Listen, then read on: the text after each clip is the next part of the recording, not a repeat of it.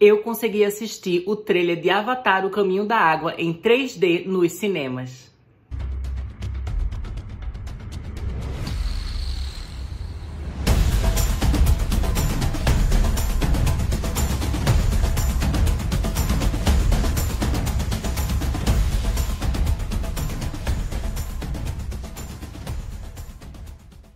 Há dois dias atrás, gente, eu fiz um vídeo aqui contando o meu tombamento, né, o meu desgraçamento que aconteceu nessa quarta-feira, né, na pré-estreia de Doutor Estranho, que eu fui no cinema, né, Cinépolis, do shopping JK Iguatemi, e deu tudo errado. Minha cadeira tava quebrada, não teve trilha de Avatar, foi uma experiência péssima. Mas aí, eu também falei naquele vídeo, né, que eu queria de todo jeito assistir esse trailer de Avatar e que eu ia ficar tentando, tentando, tentando, até conseguir encontrar um cinema em que o trailer tava passando, né? E aí lá no meu Twitter eu ficava pesquisando os termos, né, Avatar, Avatar 2 e Avatar Trailer, pra ver todos os tweets que estavam sendo feitos, né, especialmente de brasileiros, e todo mundo que falava, ah, eu vi o trailer de Avatar, ah, eu gostei do trailer de Avatar, eu já perguntava, você foi em qual cinema?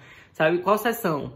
Qual rede? Sabe, e toda vez ficava perguntando, até que um menino me respondeu, né? Um rapaz respondeu que ele foi no cinema UCI do shopping Jardim Sul. E eu fiquei tão feliz, gente, porque esse shopping e esse cinema, né, é bem perto da minha casa e é o shopping que eu mais costumo ir.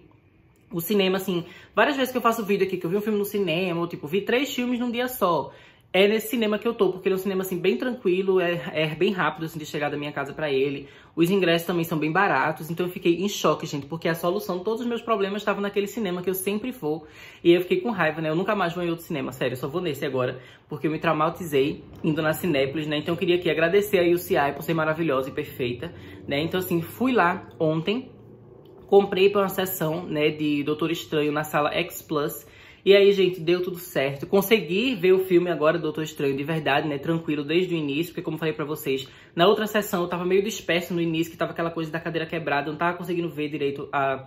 o que tava acontecendo na tela, né, no início do filme. E dessa vez eu consegui, né, ficar mais imerso no filme desde o início, então foi bem legal. E claro, né, teve o trailer de Avatar em 3D, que foi maravilhoso, perfeito.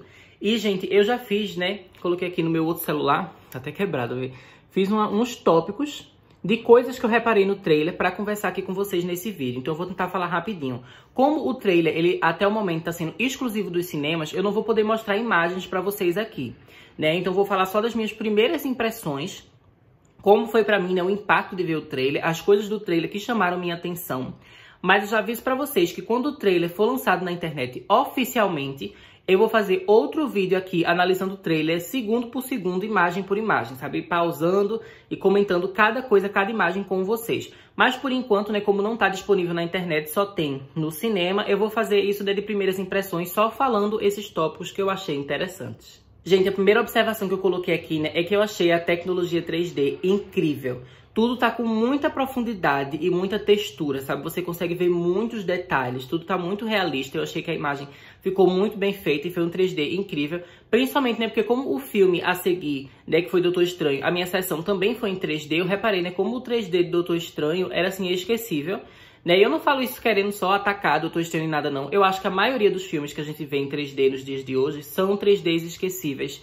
Né? O 3D ele acaba não tendo efeito nenhum pra gente, né? A gente só faz pagar mais caro pelo ingresso, mas o 3D é inútil. E aí você vendo o trailer de Avatar e depois você vendo o filme Doutor Estranho logo em seguida, né? Deu para reparar como o trailer de Avatar só aqueles minutinhos ali, é um minuto e um minuto e 30 segundos, eu acho. Só aquele trailerzinho, aquele teaser, já tem um 3D muito mais magnífico do que um filme inteiro que eu assisti a seguir, sabe? Eu achei isso bem interessante. Outra coisa que eu reparei é na pele dos navios. Eu achei que a pele, gente, tá muito incrível e tem muitos detalhes, sabe? Eles têm algumas ruguinhas, sabe? Algumas marcas de expressão. Eu achei isso bem interessante. Sabe essas rachadinhas que a gente tem, assim, no lábio? Os personagens estão com isso, sabe? A gente consegue ver muito nitidamente todos esses detalhes do corpo deles, da pele deles. Eu achei que isso ficou muito bonito, né? No primeiro filme, a pele deles e tudo mais já era muito bem feito. Mas aqui eu achei que tem muito mais textura, sabe? Eu acho que textura e detalhe são duas palavras-chave aqui que a gente vai ver em Avatar 2, sabe? Que é uma melhora em relação ao Avatar 1, que a gente vai ter muito, né? Nessas coisas, nesses pequenos detalhes que torna tudo mais real, né? E mais crível. A gente também, né, nesse trailer, a gente vê a Neytiri, ela aparece, assim, acho que bem no início do trailer, né? E realmente, gente, confirmando que aquelas imagens que saíram antes não era a Neytiri, era a Tsireia.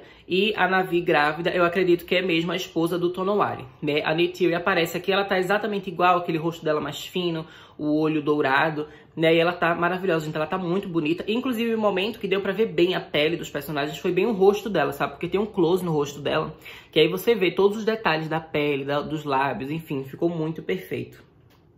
Aqui eu também coloquei, gente, a gente consegue ver todas as crianças, né, o Netean, o Lowak, a Tuktiri e o Spider. Todos eles aparecem, né, logo no início do trailer, a primeira cena do trailer já são dos quatro irmãos juntos.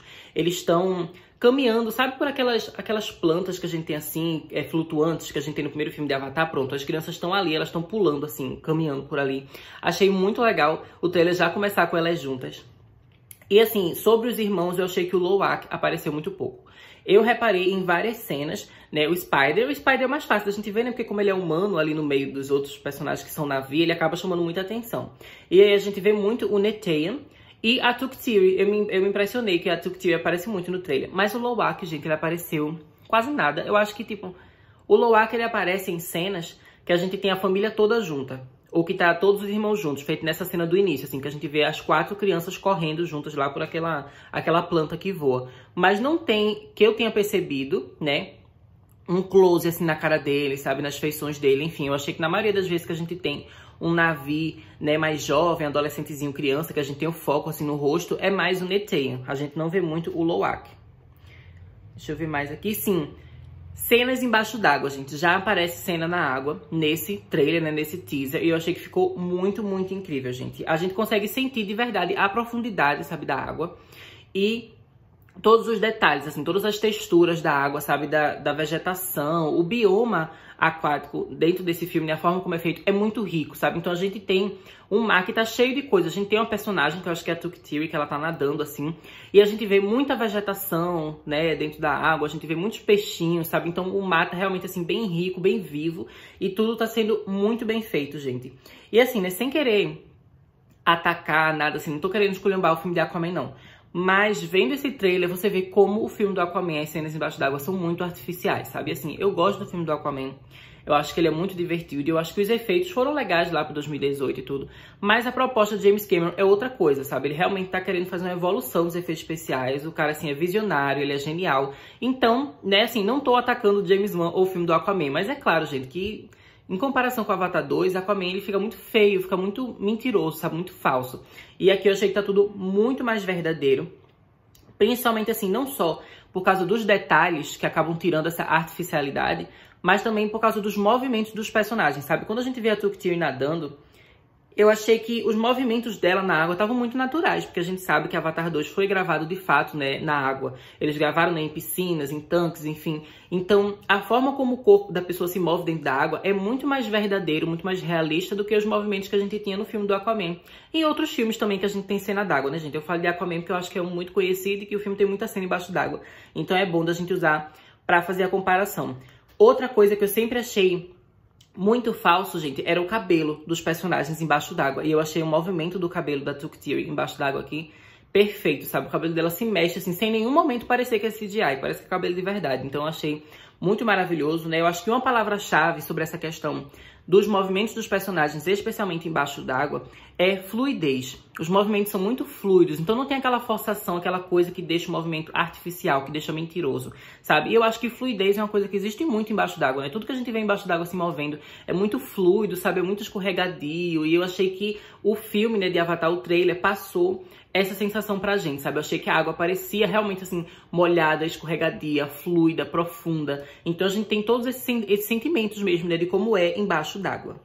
Voltando agora a falar dos outros irmãos, né? O Spider, assim como eu já imaginava que eu já tinha falado nos vídeos para vocês aqui, né? Ele em nenhum momento vai usar corpo de avatar, gente. Aqui nesse trailer a gente vê ele em várias cenas do filme, né? em vários momentos do filme.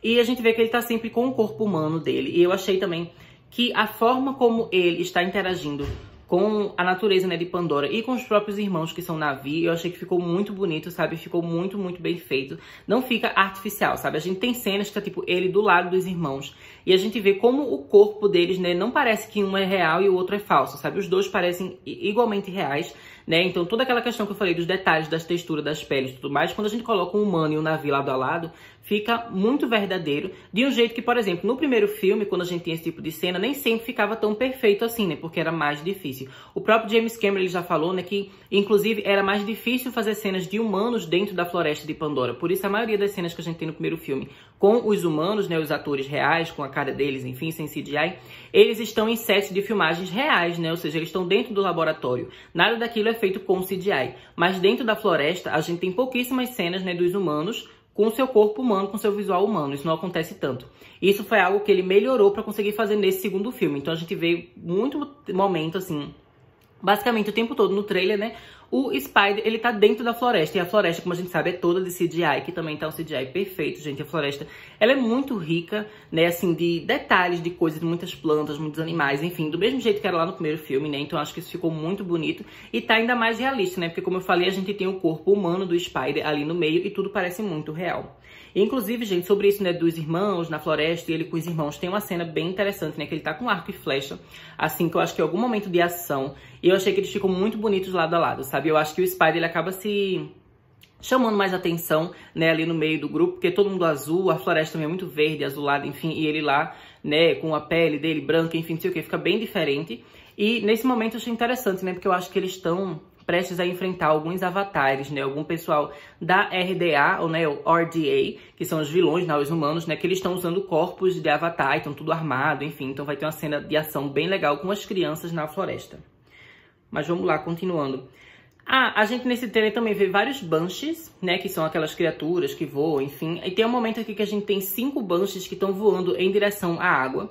E eu fiquei me perguntando, né, se quem tá pilotando esses Banshees são o Jake Sully, né, a Neytiri e os filhos, eu fiquei com essa dúvida. Como o trailer passa rápido, assim, eu não consegui ver a cara de cada um. Quando lançar o trailer, talvez eu consiga, assim, pausar e ver direitinho. Mas eu fiquei pensando ali se aquele é o momento, né, em que o Jake, a Netil e os filhos vão chegar na terra dos Medcaína, né, e vão acabar fugindo de algo que vai acontecer na floresta, né. Talvez possa até ser, o início do filme ser o ataque que a gente vê, né, que tá o Spider com arco e flecha, sabe? A família sendo atacada na floresta, eles fogem e vão pra água. Pode ser isso. Acho interessante. Sim, e voltando a falar né, sobre os militares da RDA, não RDA, a gente aqui vê uma nova base militar da RDA, né, em que tem diversas naves, né, a gente também vê vários daqueles exoesqueletos robóticos, né, que eles usam, né, que lembra até aquele robozinho lá de Aliens, o Resgate, que a Ripley usa, né, enfim, a gente sabe que tem isso no universo de Avatar, na batalha final do primeiro filme, né, vários militares lá, eles usam aquele corpo ali robótico para conseguir lutar, né, eles pilotam aquele robozinho, e a gente já vê que tem vários desses no segundo filme, né, a gente já vê ali de longe, então vai ter muita batalha, vai ter muita treta. A RDA, outra coisa que eu achei interessante é que nesse trailer a gente só vê o lado militar deles. A gente não teve nenhuma cena em laboratório e nenhuma cena que aparece cientistas. Eu achei que isso é uma coisa interessante da gente falar assim, porque normalmente, né, no primeiro filme de Avatar, quando a gente viu os militares, eles eram assim mais malvadões e ruins, enfim. Quando a gente via os cientistas, tinha um grupinho que era legal, feito a própria Grace, né, o Jake Sully, que tava lá com os cientistas, enfim, que eles tinham maior respeito por Pandora, e eu achei interessante que nesse trailer a gente não vê esses humanos cientistas, só vê os militares, o que já dá uma coisa assim mais tensa, né, uma, uma sensação assim mais de horror e desgraça tá vindo por aí, né? Porque a gente sabe que os militares, eles realmente chegam lá destruindo tudo, e enfim. Então os humanos aqui Nesse trailer, a gente não vê aquele grupinho de humanos que você pensa, ah, eles vão ser legais, eles vão ser aliados. Aqui, todos os humanos que a gente vê, toda a base da RDA parece muito agressiva, tudo com uma coisa assim, muito de guerra, de violência e essa sensação que passa, né? Mas a gente já teve algumas imagens dos bastidores que foram lançadas, né? Principalmente no Twitter, a da conta oficial de Avatar, que eles lançam imagens desde 2018, 2019, das gravações. A gente já tem fotos, né, de um set de filmagens real de laboratórios onde provavelmente a gente vai ter vários personagens né, cientistas. Aí eu fico em dúvida. Talvez eles simplesmente né, não tenham mostrado esses cientistas no trailer porque querem fazer surpresa, né? Vai ser uma história é, surpreendente, alguma coisa assim. Então eles não quiseram já colocar os cientistas nesse primeiro trailer, talvez apareça até em outro trailer, enfim. Ou talvez os cientistas só devam aparecer lá no terceiro filme, porque a gente sabe né, que o segundo e o terceiro foram gravados juntos. Então algumas cenas que a gente tem assim foto de bastidores, talvez não aconteça nesse segundo filme, porque fazem parte das gravações do terceiro filme. Então é isso, né? Eu não sei como é que vai ser a questão dos cientistas, né? Eu gosto muito dos cientistas do primeiro Avatar, então espero que a gente tenha alguns cientistas aqui no segundo filme também. Mas vamos lá. Outra coisa sobre a RDA. Aqui a gente vê vários avatares militares, né? Então o pessoal que tá com aquele corpo de navio, né? Pilotando um corpo de navio e todo mundo muito armado, né? Com aquelas roupas assim de, de exército, enfim. E um deles eu tenho certeza, gente, que é o Quaritch, Quaritch, não sei falar o nome dele, gente, mas é o vilão do primeiro filme. A gente já sabe que aquele vilão, apesar dele ter morrido no primeiro filme, né, ele vai voltar. Porque esse ator foi um dos primeiros a ser confirmado nas sequências de Avatar, sabe? Junto com é, a Zoe Saldana, né, e o Sam Warrington, né, eles foram tudo confirmados junto. E também a Sigourney Weaver, que é a personagem dela do primeiro filme, né, que é a Doutora Grace, ela também morre. Mas o James Cameron falou que a atriz vai voltar. No caso da Sigourney Weaver, a gente acha que ela provavelmente vai voltar fazendo o papel de outra personagem, ela vai ser outra pessoa e a Grace realmente morreu. Mas no caso né, do Quaritch, acredita-se que ele vai voltar sendo o próprio Quaritch mesmo. E aqui a gente vê ele num corpo de avatar. E eu tenho certeza que é ele, gente, porque é um avatar assim que ele tem um cabelo bem curtinho, sabe aquele corte estilo militar. E ele também tem aqui no braço é, ele tem uma tatuagem de uma ave que é exatamente igual a tatuagem que o Quaritch humano tinha. Então, prova provavelmente é ele, né? Eu acredito que ele vai ser um dos grandes vilões desse filme. E talvez, assim, um dos grandes vilões de toda a saga, né? Porque, se eu não me engano, o ator vai participar de todos os cinco filmes de Avatar, né? O primeiro que ele já fez. E as sequências, né? Avatar 2, Avatar 3, Avatar 4 e Avatar 5. Então, a gente tem que prestar bem muita atenção nisso, né, na participação dele, porque ele vai ser um personagem é, importante para o futuro de Avatar, né? Inclusive o ator, acho que ele foi um dos que já leu todos os roteiros de todos os filmes, né? Que o James Cameron falou que apenas os atores principais, os mais importantes, é que ele deixou ler todos os roteiros, né, até o fim. E ele já falou que ele ficou super emocionado lendo o roteiro do quarto filme. Então, assim, se ele tá até o quarto filme e ao ponto de se emocionar, né, o autor, o ator a ler o roteiro, então realmente tem coisa muito interessante para acontecer com Quaritch nesse futuro da franquia. Nesse trailer também teve uma cena bem curtinha, né, ela passa bem rápido, em que a gente vê os Metcaína, neles estão fazendo uma espécie assim de ritual religioso. Eu achei isso bem interessante, né? E eles estão assim, no momento sim que eles estão com água, né? Tem água aos pés deles, e dentro da água a gente consegue ver algumas luzes brilhantes azuis, o que me leva a crer que realmente, né, embaixo d'água, principalmente quando tiver de noite, né, na escuridão, a gente vai ter aquela bioluminescência que a gente também tinha na floresta, né, quando anoitecia, as próprias plantas, né, a própria vegetação se iluminava e fazia tudo, né, a gente conseguir ver com detalhes, enfim. Então acho que isso vai rolar também embaixo d'água. E é interessante, né, que eles estão olhando para frente, assim como se estivesse rezando, e aí isso me deixa, né, com dois pensamentos na cabeça. Talvez eles estejam rezando, encarando algum monumento ou alguma planta, né, alguma árvore sagrada, alguma coisa feita a gente tinha no primeiro filme. Mas também é possível que eles estejam encarando alguém, né, não uma coisa, mas uma pessoa. E aí poderia ser, gente, a Ronal ou Ronal, que é a personagem da Kate Winslet, que para quem não lembra, né, é a Rose de Titanic. Ela vai voltar aqui nesse segundo filme de Avatar, né, a trabalhar com James Cameron, depois de vários anos, né, que eles fizeram Avatar juntos. E a gente não tem tantas informações sobre a Ronal, né, que é a personagem dela, mas a gente sabe duas coisas principais. A primeira, né, é que tem um rumor já bastante antigo de que a Ronal provavelmente é a mãe da Tsireia, que é aquela navio que a gente viu nas imagens vazadas, que aparece aqui nesse trailer também, né? A outra coisa que a gente sabe sobre ela é que provavelmente né, ela é a sacerdotisa dos Metcaína, né? Então ela vai fazer o papel assim da pessoa que faz os rituais, as cerimônias, enfim. Ela chegou inclusive né, a já ser citada, acho que pela própria atriz, né, como ela para explicar assim a personagem já falou, ela é como se fosse uma deusa da água, né? Então a gente entende que ela tem uma ligação com Ewa e provavelmente ela vai fazer algumas coisas né, embaixo d'água, alguns rituais, enfim. Inclusive a gente tem uma imagem da Kate Winslet, né, que essa imagem que a gente tem dos bastidores é ela gravando embaixo d'água e ela estava gravando uma cena né, de um ritual, de uma cerimônia religiosa. Além disso, é, também foi dito, né, tem rumores de que ela faz cerimônias de parto. O que faz sentido quando a gente pensa naquela navio grávida que a gente vê, que provavelmente é a esposa do Tonowari, né, o líder do clã dos Metcaína. Então é provável que a gente tenha algum momento assim de parto dentro do filme, talvez no final do filme, que a gente vai ver o nascimento daquele bebê e a Ronal, ela vai fazer aquela cerimônia, né, do nascimento de um navio. Eu acho que isso vai ser bem interessante, gente. Imagina uma cena de parto, né, dos navios, enfim, com todo aquele efeito especial, né? é preciso muita tecnologia para você fazer uma cena dessa que é bem complexa. Eu acho que eu confio em James Cameron para fazer. Eu acho que seria uma cena belíssima. Mas então, né, continuando, No trailer, a gente também vai ver que tem várias cenas, assim, umas instalações da RDA, né, da RDA. Então a gente tem várias coisas, assim, que eu não sei dizer se é um navio, se é submarino, talvez seja ambas coisas, né, que a gente sabe que vai ter, que já saiu também das imagens é, de bastidores, eles gravando tanto submarino quanto em navio. E nessas imagens, né, o que eu achei legal é que a gente já tem aquele gostinho de que vai ter muita cena de ação épica nesse filme, né, isso é uma coisa que costuma ter bastante, né, no filme do James Cameron, mas eu acho que esse aqui realmente vai estar, tá, assim, muito grandioso. A gente tem alguns momentos, gente, que aparece o Spider e o Netean, né, os dois irmãos, eles aparecem invadindo uma dessas instalações, e é muito legal que eles estão pulando assim, se jogando, e tem umas faíscas, assim, umas luzinhas que, como foi rápido, não, eu não deu, não consegui ver, mas eu acho que era tiro. Eu acho que provavelmente era tiro ali, era alguma cena de ação, mas passou bem rápido assim no trailer. Depois eu vou tentar pausar mais, né, quando ele sair na internet, oficialmente, né, pra eu analisar melhor. Mas eu achei interessante ali, provavelmente a gente vai ter uma cena de ação envolvendo os dois irmãos ali naquela instalação da RDA. E também, gente, teve um momento nessas instalações que me lembrou muito uma mistura de Titanic com Aliens o Resgate.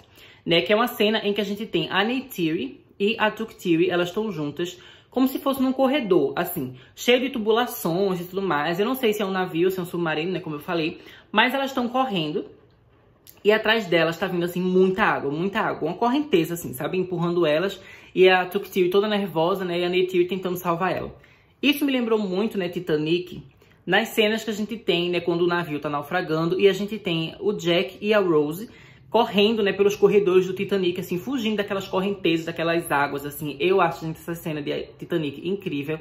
Eu lembro que quando eu era criança eu adorava ver esse momento, assim, de sufoco deles, né, deles tentando sobreviver, deles tentando é, se encontrar ali dentro do navio e a água que às vezes separava os dois, enfim, e às vezes morria gente, enfim. Acho isso muito legal.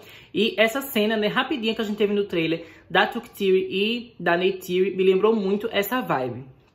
E também, né, gente me lembrou Aliens o Resgate por toda aquela questão, né, de que Aliens o Resgate a gente tem a Ripley, né, que ela tá fazendo aquele papel materno, tentando salvar a menininha, e enfim. Então me lembrou muito esse estilo de cena. Eu acho que a gente vai ter uma coisa meio Ripley na Neytiri aqui nesse filme, né, dela tentando salvar os filhos nas cenas de ação. Outra coisa, gente, vocês lembram daquela cena que a gente tem os Metcaína, né, que eles estão na água e tudo mais, que a gente viu aquela a nave grávida, né, e o Tonowari, enfim. No vídeo que eu fiz falando sobre as imagens vazadas, eu falei que essa cena provavelmente não era uma cena de batalha final, né? Que eu acho que eles não iam mostrar no trailer. Mas agora eu retiro o que disse, né? Vendo o trailer e entendendo o contexto da cena como um todo, eu acho sim que aquela cena é da batalha final ou pelo menos de uma das principais batalhas do filme, né, que devem acontecer depois do meio do filme.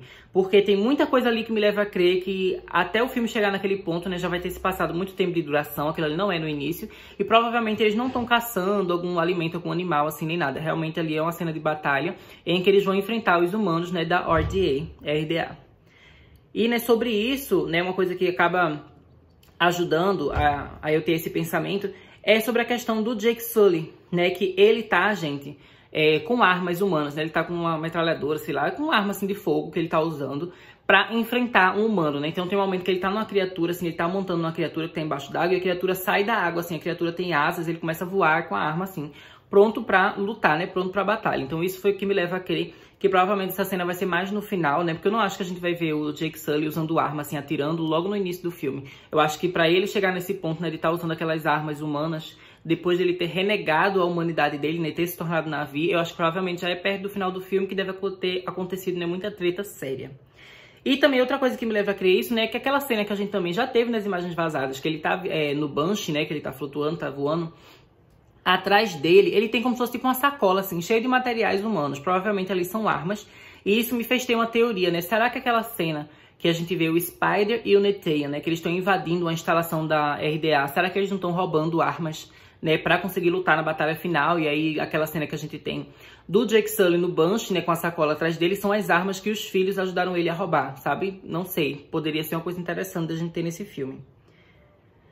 Outra coisa que eu achei interessante sobre esse trailer, né, gente, é que basicamente confirmou pra gente que os Metcaína, eles vão ter corpos diferentes, né, algumas características da fisionomia deles, diferentes dos, dos Omaticaia. Provavelmente, né, vai ser uma questão evolutiva para tornar eles, né, assim, mais adequados para viver no ambiente aquático. Então, por exemplo, a gente tem que os Metcaína, eles têm essa parte aqui do braço, eu não sei como é que chama isso, gente. Essa parte aqui do braço deles, ela é mais larga, né? Que eu acho que seria para ajudar eles a conseguir nadar, sabe? Então, esse é um exemplo de característica que aqui no trailer ficou mais claro, né? Principalmente em 3D, deu pra ver bem direitinho que o braço deles é mais largo, né? E também eles não têm olhos dourados, né? Eles têm cabelo cacheado, enfim, eles têm várias características que depois, quando a gente tiver o trailer, né, eu vou analisar melhor pra mostrar pra vocês. Por fim, gente, o que eu posso dizer assim é que esse trailer foi muito incrível e eu amei ver em 3D, principalmente porque o primeiro filme de Avatar eu não consegui ver no cinema, eu vi quando ele chegou na locadora. Então, assim, eu toda vez vi as pessoas falando que foi incrível ver no cinema em 3D o primeiro Avatar, mas eu nunca tive essa experiência, sabe? Eu só vi em casa, na televisão de casa. Então eu sempre quis ver como era o 3D de Avatar, sabe? Eu achei incrível ver Pandora em 3D. Realmente o 3D de James Cameron não é nem perto assim dos outros 3D que a gente tem, sabe? Ele é uma coisa assim muito mais evoluída, muito mais tecnológica, né? E muito mais artística, digamos assim, sabe? O 3D dele não é só para ficar mais caro o ingresso. O 3D dele realmente é um instrumento narrativo para fazer a gente ficar mais imerso dentro daquela história, para fazer a gente acreditar naquele mundo, né? Então realmente é uma ferramenta artística para ele o 3D, sabe? Não é só uma coisinha besta como a maioria dos outros diretores fazem, né? O uso do 3D. Então achei que foi muito legal. Foi super especial, né? E foi assim, uma loucura conseguir ver esse trailer. Eu pensei que eu não ia conseguir, gente. Depois daquele tombo que eu tive no cinema da Cinépolis. Mas ainda bem, né, que a UCI foi incrível, né? A Rede Cinemas UCI. Vão lá, gente, tentar assistir. Uma coisa que eu diria para vocês é quando vocês forem no cinema ver Doutor Estranho, é, ou caso vocês não tenham comprado ingresso ainda, vocês estejam pensando, tente perguntar no cinema, né? Pergunte se tem trailer de Avatar. Tente é, perguntar nas redes sociais, sabe? Pergunta se alguém viu no cinema que você pretende ir, se teve trailer de Avatar ou não. Porque, infelizmente, né, não tá tendo em todos os cinemas, eu achei isso bem ruim. Mas eu espero, gente, que na semana que vem eles decidam lançar logo esse trailer oficialmente na internet.